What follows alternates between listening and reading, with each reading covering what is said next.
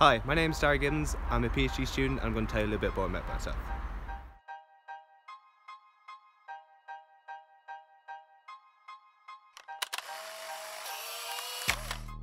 I come from Ireland and I'm doing my PhD thesis with Universiteit van Amsterdam and Universiteit de Limoges.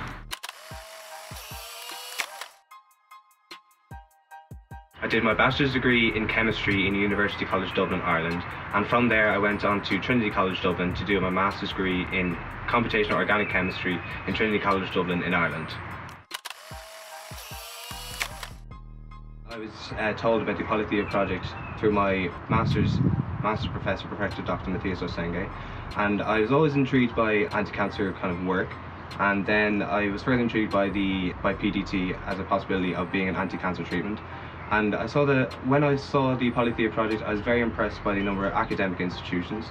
And I also wanted to get some industry experience as well. I saw that University de Limoges was one of the main partners in the project, and I thought it'd be a great idea to be able to practice my French and improve it a lot more.